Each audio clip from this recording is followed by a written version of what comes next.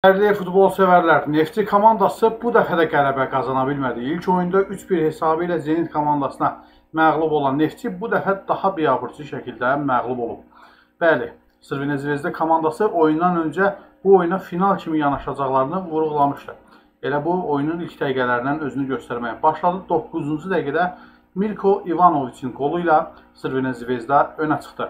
20-ci dəqiqədə isə qol fərqi 2-yə yüksəldi. Stepan Mitroviç hesab arasındakı fərqi artırdı.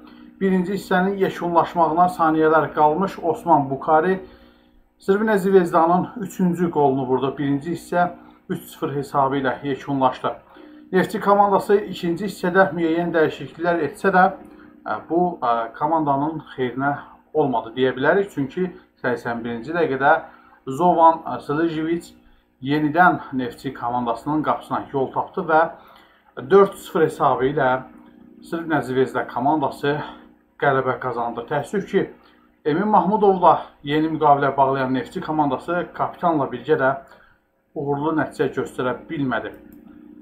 Avrokuboklarda təmsil edəcək Neftçi komandası bizi.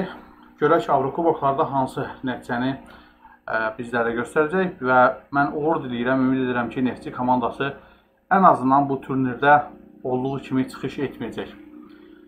Neftçinin daha bir oyunu var. Fənərbağça ilə ayın 15-də qarşılaşacaq dəyərli dostlar. Bu maç barəsində sizlərə məlumat verəcəyik. Kanala abunə olun, bildirişləri açıq tutun. Qarabağ komandası ayın 11-i Çempionlar Liqasının birinci təsdiqat mərhələsində Lincoln komandasının qonağı olacaq. Növbəti videoda görüşmək ümidi ilə sizlərlə sağollaşıram. Hələlik.